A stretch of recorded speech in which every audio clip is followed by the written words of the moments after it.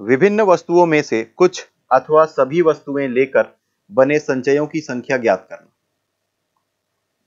प्रत्येक वस्तु को संचय में लेने के दो तरीके हैं। या तो वस्तु ली जाए या ना ली जाए। अतः n वस्तुओं को लेने के तरीके बराबर दो गुना दो गुना दो, ये n बार जाएगा। तो इसे हम लिख सकते हैं, दो का घात n इसमें वह तरीका भी शामिल है जिसमें कोई भी वस्तु ना ली गई हो। अतः अभिष्ट संचयों की संख्या बराबर दो का घात n ऋण एक। संचयों की संख्या दूसरी विधि से भी ज्ञात की जा सकती है। n वस्तुओं में से एक वस्तु को चुनने के तरीके बराबर n c1 होगा।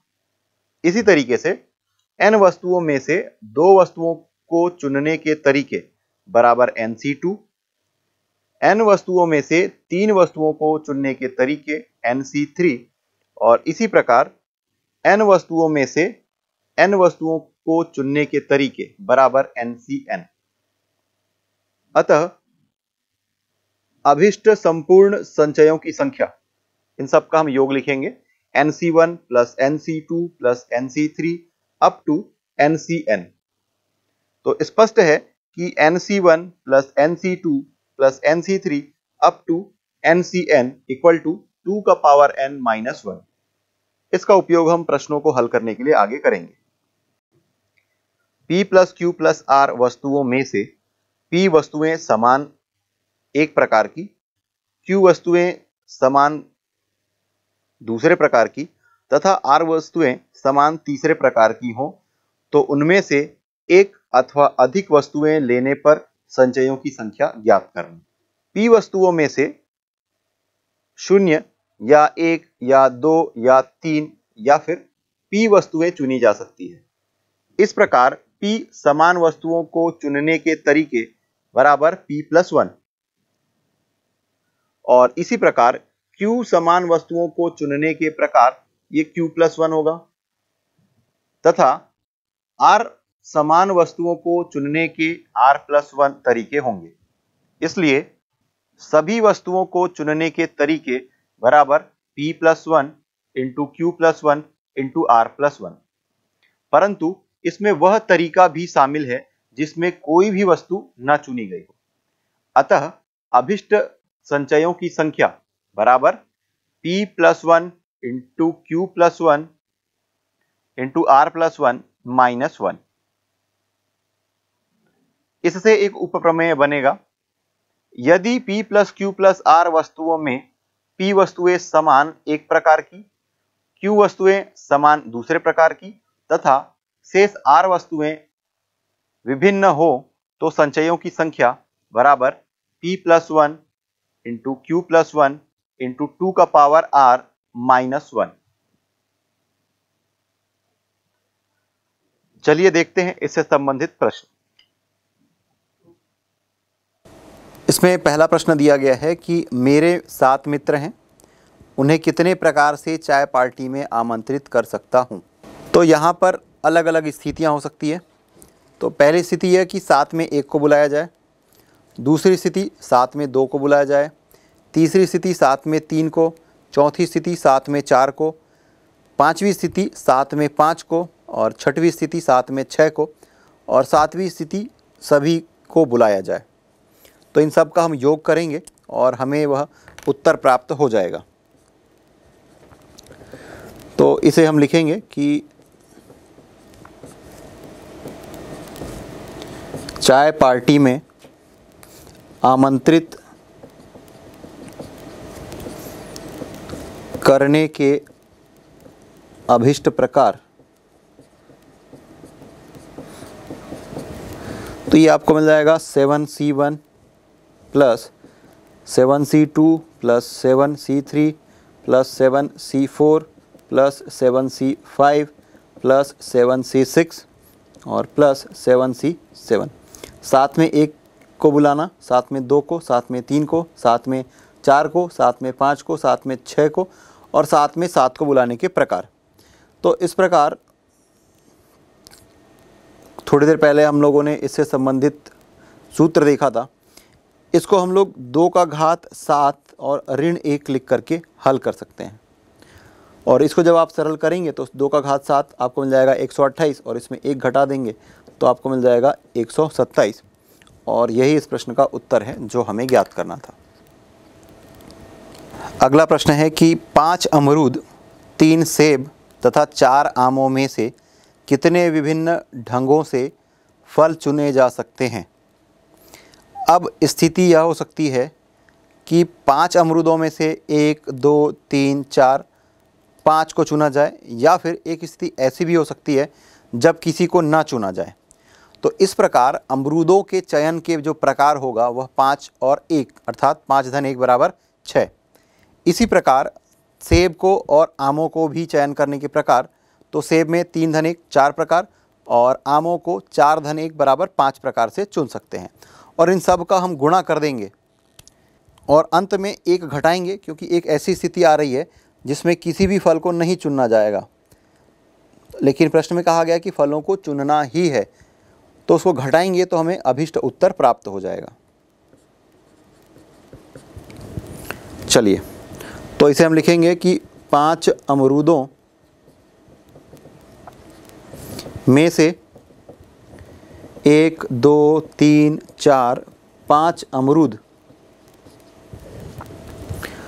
तथा कोई भी अमरूद नहीं चुना जा सकता। है। इस प्रकार पाँच अमरूदों में से अमरूद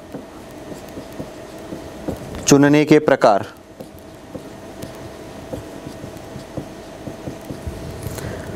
तो ये हो जाएगा पाँच धन एक। इसी प्रकार।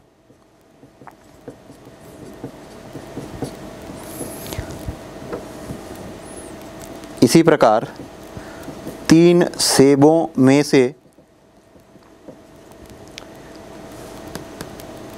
सेब चुनने के प्रकार। बराबर तीन धन एक, ये चार और ये छ और चार आमों में से आम चुनने के प्रकार।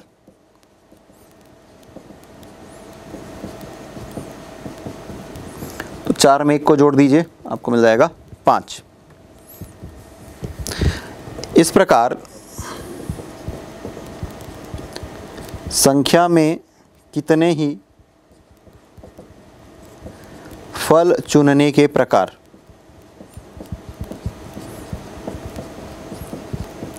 इसका मतलब ये कि सभी का हम गुणा कर देंगे। छः गुणित चार गुणित पाँच। सरल करेंगे तो आ जाएगा 120 लेकिन इस स्थिति में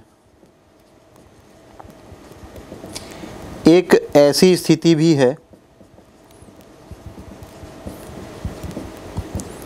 जब एक भी फल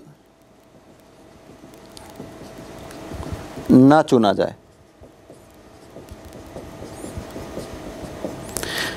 इसलिए उस प्रकार, अभिष्ट जो प्रकार हमें पूछा गया है, उसमें हम 120 में एक को घटा देंगे।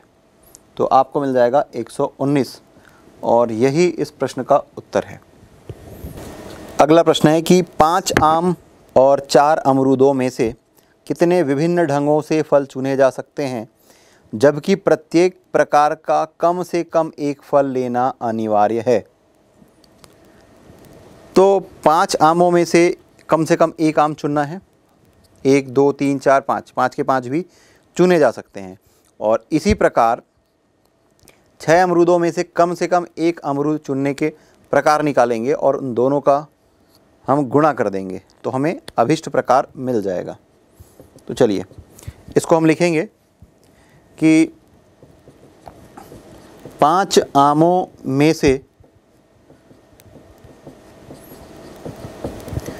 कम से कम एक आम चुनने के प्रकार या चुनने के ढंग ये हो जाएगा five C one five C two five C three five C four और फाइव सी फाइव इसको हम लिख सकते हैं दो का घात पाँच, ऋण एक। और इसी प्रकार छः अमरूदों में से कम से कम एक अमरूद चुनना ही है। तो चुनने के ढंग हम इसको लिख सकते हैं।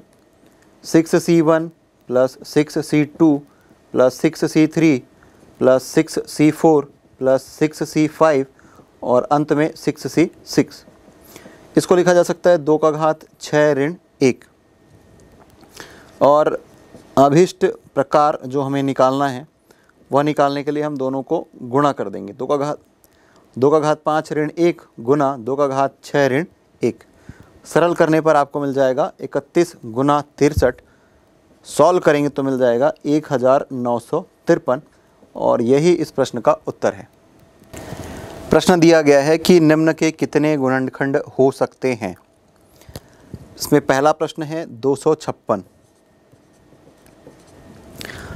अब ये जो दो सौ छप्पन है, इसका हमें गुणनखंड पहले करना होगा। और इसी जब आप सरल करेंगे तो दो गुना दो, इस प्रकार आप इसको आठ बार लिख सकते हैं। ये यहाँ से यहाँ चार बार और यहाँ से यहाँ चार बार। इसका मतलब है कि दो का घात आठ। यहाँ दो आठ बार आया है। अतः कुल गुणनखंडों की जो संख्या होगी, इस संख्या में एक को जोड़ देंगे। तो आठ और एक, नौ। और इस उत्तर में या संख्या में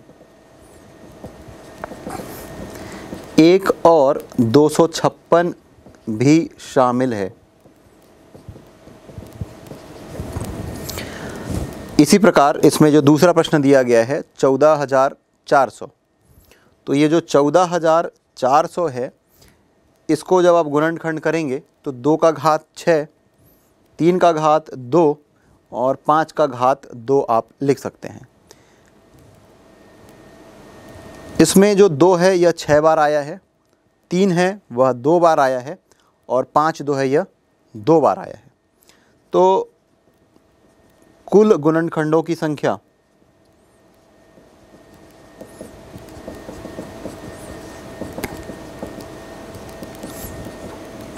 तो छः में एक जोड़ देंगे।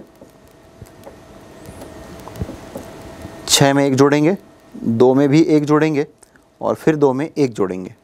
तो छः एक सात, दो एक तीन और दो एक तीन तीन तीन, नौ, सत्ते, तिरसठ।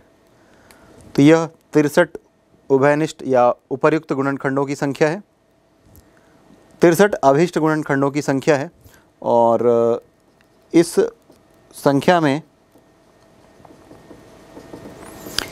एक और चौदह सौ, चौदह हज़ार चार सौ भी शामिल है। और यही इस प्रश्न का उत्तर है जो हमें ज्ञात करना था।